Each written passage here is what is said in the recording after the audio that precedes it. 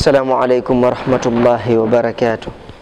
إن الحمد لله نحمده ونستعينه ونستغفره ونؤمن به ونتوكل عليه. وأشهد أن لا إله إلا الله وحده لا شريك له. يا صاحب الغم إن الغم منفرج. أبشر بخير فإن الفارج الله. ما لك من خير فحسبك الله في كل لك الله. وأشهد أن سيدنا وحبيبنا وعظيمنا ومعلمنا ومولانا محمد رسول الله. نبي أعطاه الله شجاعة موسى وشفقة هارون وإقدام داود وبصارة يحيى وعظمة سليمان ونور محمدا وصبر أيوب. وبلغ الرسالة وأدى الأمانة ونصغ الغمة وجاهد في الله حق جهاده حتى أتاه اليقين. فجزاه ربه خير ما جزى به نبيا عن أمته ورسولا عن قومه. اللهم صل وسلم على هذا النبي الأمين وعلى آله وأصحابه ذوي الشرف العظيم. أما بعد أما بعد فيا أيها الناس usikum wa nafsi awalan bitaqwa Allah. Enyi ndugu watukufu wa Kiislam, tukiwa tumo ndani tena ya darsa zetu za kawaida, Mwenyezi Mungu namuomba, nasalullahu taala an yajalana afiyan wa afwa, namwomba Mwenyezi Mungu atupe afya na siha. Wasalu llahumma subhana an yajalana an yajmana ma sayyidina Muhammad fi ljanna kama jamana hadha lmasjid, akatukusanye peponi pamoja na mtukume, mtume mtukufu wa darja kama alivyotuweka na kutukusanya katika masjidi hii. Mwenyezi Mungu inshallah atujalie miongoni mwa watu wenye kufuata na kusikiliza tunaoambiwa. Ndugu zangu, leo darsa yetu ya leo inshallah biidhnillahi tabaraka wa taala tutakwenda katika anuai anuai moja muhimu katika maisha, maisha ambayo tunajua kwamba binadamu sote ni wakoseaji. Leo basi nataka nikuzungumzieni na kuhadithieni kisa cha sahaba mmoja wa Mtume sallallahu alaihi wasallam anaitwa anaitwa Bwana Thalab, anaitwa Ausu bin Thalab na mkewe Haula waliofanya matukio makubwa katika misteki yao katika wakati wa Mtume sallallahu alaihi wasallam.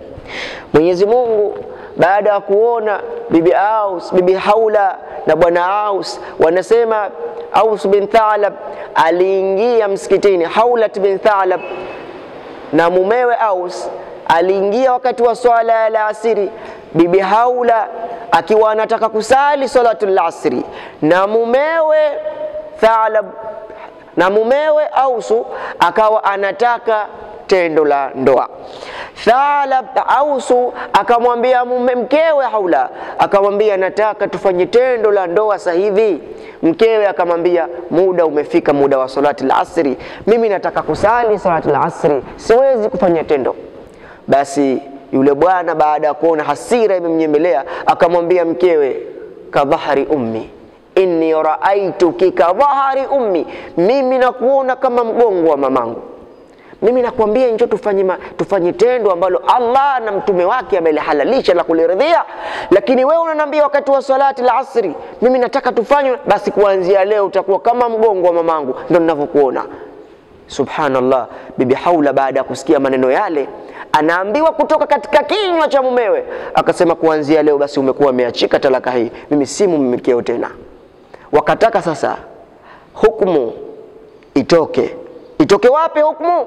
Haula na mumewe alikuwa akimpenda sana, akaona nimeshazaa naye watoto wengi na tushajukuu, na sasa ni watu wazima tuliokuwa umri mkubwa katika umri, miongoni mwa watu wenye umri mkubwa hapa Maka, na Mtume sallallahu alaihi wasallam yupo basi twende kwa mtume tukatake fatwa.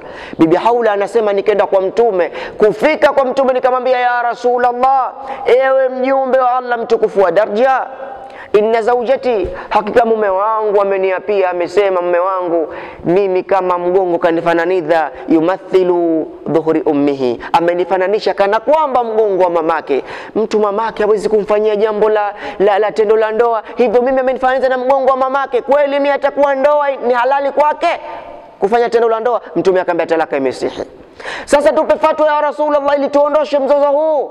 Mtume akamwambia hapo hapana fatwa yoyote na suluhu yoyote isipokuwa hukumu yenu tayari Mwenyezi Mungu ameshaipiga. Hiyo ni talaka, na talaka ambayo haiwezi kurejea. Bibi Aisha anasimulia Bibi Haula alipokwenda kwa Mtume alikuwa anazungumza maneno ya chini kwa chini. Yeye Bibi Aisha yuko mlangoni, alikuwa hayasikii maneno anayozungumza ilikuwa ni najwa, ananong'ona kumwambia Mtume, ana hasira, akaambia ya Rasulullah, lan arju fi baiti hatta yanzila Allah hukmi baini wa baina zaujati, siondoki kurudi kwa mume wangu mpaka Allah ateremshe hukumu kati yangu na mume wangu, nijue hasa. Tuambie, mimi sijalepewa amri yote hapa sasa hivi. Hiyo ni talaka, mmeachika. Kuna talaka nyingi, talaka bukhur, talaka ila, talaka lian, zote ni aina ya talaka. Talaka tatu, zote ni aina ya talaka. Sasa imetoka talaka bukhri akamwambia siondoki. Basi bibi Aisha yule mama akawa na hasira, anaendelea kunong'ona kwa Mtume. Pale pale, anataka kuondoka. Salati al-asri ikashuka aya, salatul magharibi. Wanasema ulama, ikashuka aya. Bismillahir rahmanir rahim samia Allahu qawla allati tujadiluka fi zawjiha wa tashtaki ila Allah. Wallahu yasma'u إن الله سميع بصير. الذين يظاهرون منكم من نسائهم من نسائهم ثم يعودون.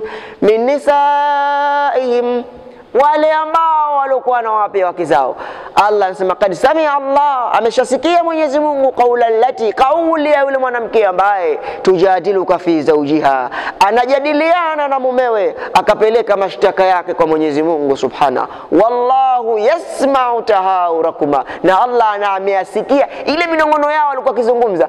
Mtume Allah ameanikota, nimeyasikia minongono yenu. Allah Bi Aisha hajasikia, Allah alikokuwepo katika arshi yake amestawi, ameyasikia maneno hayo, anamwambia inna Allaha samiun basir, Allah ni mwingi wa kusikia na anaona matukio yake. Kwa hiyo anasema hukumu yake, walladhina yudhahiruna minkum min nisaihim ma hunna ummahatim, na wale wanaume ambao wanawafananiza wake zao kana migongo, migongo ya mama yao, basi hao wakawafananiza wake zao mahunna ummahatihim illa llai waladnahum wa innahum la yaquluna munkaran min alqauli wazura.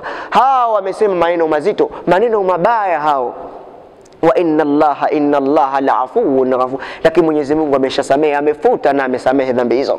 Hukumu yao ni nini sasa? Na kila mmoja, ziko talaka nyingine mtu unatoa mdomoni kumwambia mkewe anamfaniza na mtu mwingine, anamfaniza na dadake na mamake au hata hakumfananiza hivyo, lakini amezungumza kauli nzito tu, basi hukumu Allah akasema walladhina yudahiruna min nisaihim thumma yauduna lima qalu fatahriru raqaba thumma yauduna lima qalu fatahriru raqabati min qabli an yatamasa faman lam yajid fasiyamu shahrayn mutatabi'ain min qabli an yatamasa faman lam yastati' fa it'amu sittina miskina dhalika litu'minu billahi wa rasuli wa tilka hududullah. Allah akawaambia sasa, hukumu yao. Wale walioingilia waliowaapia wake zao ni sawasawa na migongo ya mama zao, basi wajue kuanzia leo hukumu yao, wanataka kuwarudia sasa wake zao thumma yauduna lima qalu fatahriru raqaba, kuanza la mwanzo amwache huru mtumwa mmoja, min qabli an yatamasa, kabla hajamwingilia mkewe. Akimwacha huru mtumwa, ruksa kumwingilia mkewe, talaka imeondoka. Akiwa hana faman lam yajid fasiyamu shahraini mutatabiyaini min qabli an yatamasa, hana afunge miezi miwili mfululizo kabla ya kumwingilia. Hana afanye nini? fa itiamu sittina miskina, afunge siku sitini mfululizo, awalishe masikini sitini au siku sitini mfululizo. Hana afanye nini? Hukumu ikaja kimya, na yule anasomewa ile habari haula na mumewe au suwapo anasema ya Rasulullah, mimi hapa ndo maskini wao hapa Maka, na unajua mie siwezi kummiliki mfungwa mtumwa, mimi mwenyewe nimemilikiwa ya Rasulullah, mimi mwenyewe mtumwa hapa mmemilikiwa, nitampataje mtumwa? Mtume akaambia fabasi faman lam yajid fasiyamu shahrain mutatabiin, ufunge siku 60. Kaambia ya Rasulullah, Ramadhani miezi fungi leo naambia nifunge siku 60 miezi miwili, siwezi ya Rasulullah.